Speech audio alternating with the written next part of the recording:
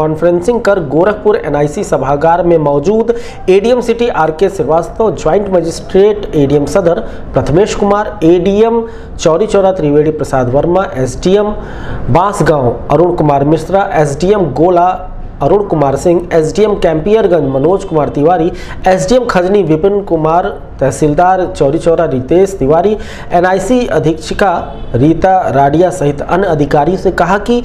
CSC के द्वारा सभी वोटर कार्डों का आधार कार्ड से उसे लिंक किया जाए और मोबाइल नंबर को जोड़ते हुए ऐप द्वारा लोड किया जाए। जिन क्षेत्रों में बीएलओ कार्य करने में असमर्थ है या आंगनबाड़ी कार्यकर्ती के पास मोबाइल एंड्रॉयड मोबाइल नहीं है, उस क्षेत्र में सरकारी सस्ते गल्ले के विक्रेता से अपनी सुविधानुसार संबंधित अधिकारी कार्य करवाएँ। जल्द से जल्द आधार कार्ड से वोटर आईडी को